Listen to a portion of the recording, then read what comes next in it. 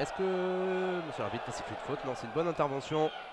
Deniort, attention, là avec la récupération assez haute de Jonathan Mexique, le ballon qui arrive vers Patrick Burner, la frappe de Burner et l'ouverture du score L'ouverture du score Superbe là ce qu'ont fait les Nîmois, ils ont récupéré le ballon et c'est Patrick Burner à la manœuvre, côté droit, qui récupère le ballon dans la surface de réparation.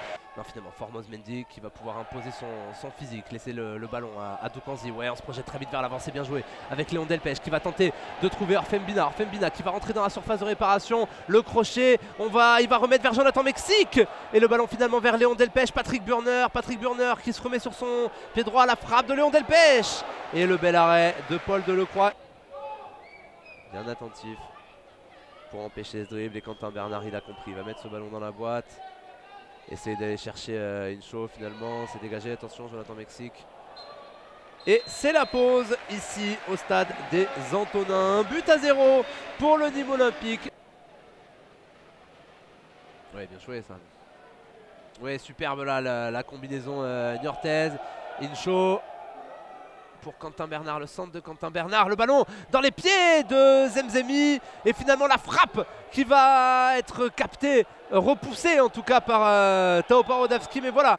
Peut-être que ces entrées en jeu vont, favoriser euh, tout cela justement. Mais pour le moment, ce sont les Nîmois qui sont à l'attaque avec Laurens dans la surface de réparation, Burner.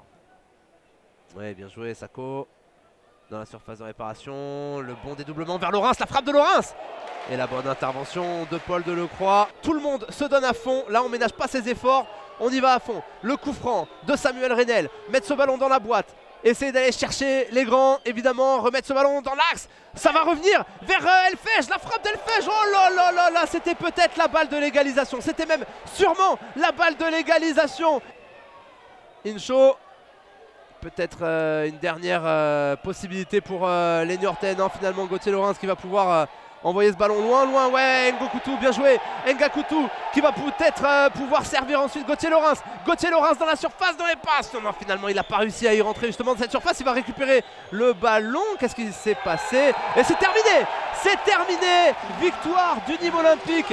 Un but à zéro.